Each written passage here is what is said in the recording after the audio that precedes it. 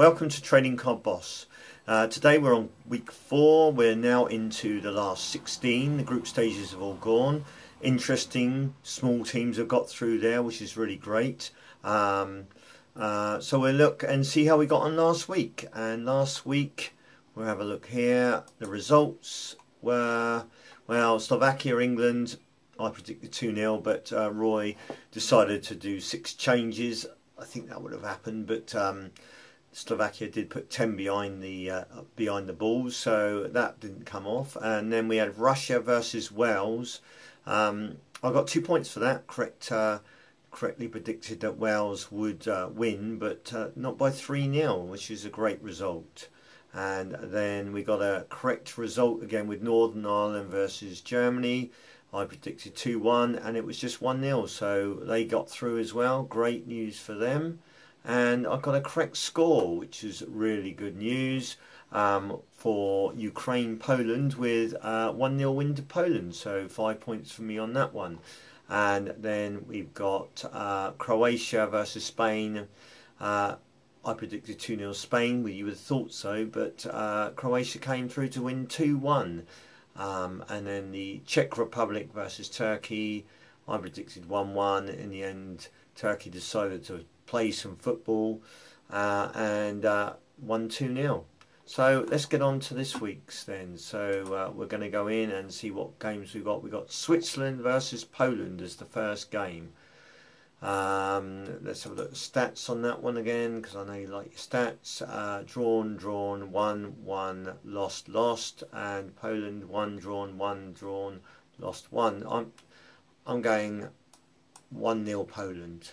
Uh, so we got stats for Northern Ireland versus um, uh, sorry Northern Ireland versus Wales or Wales versus Northern Ireland. So we've got, uh, sorry, I do apologise. Uh, Wales, uh, one, lost, one, one, one, sorry, draw, lost, lost, drawn. Uh, Northern Ireland lost, one, lost, drawn, one, drawn. So uh, the game for Wales win there, 89%. Um, it's going to be a tight game. I can't. Um, Bale's doing really well at the top there. I reckon 2 1 Wales. Uh, then we're going for uh, Croatia versus Portugal. Well, Portugal are not doing very well at all. Let's have a look at the stats. Yeah, Croatia 1 drawn, 1 1 drawn, 1. Uh, Portugal drawn 3, 1 lost 1. I'm, I'm not feeling for this Portugal team at the moment. I think they are not playing up to the standard. But then again, Ronaldo could get his shooting boots back on again, like he did in the last game. Tight game. Tight game. It is going to be 1 0. No, it was a high scoring game. 2 0. 2 1. 2 1 again on that one. And we got France, Republic of Ireland. Uh, do you know, France have done so well. Uh, and so are the Republic of Ireland. Um, France have got their home crowd behind them. So I am going for, I'm just sort of bring that in shot there so you can actually see, 2 0 France. I think, I know, do you know, I don't know. No, 2 0 we're going for, 2 0 France. And then we've got Germany versus Slovakia.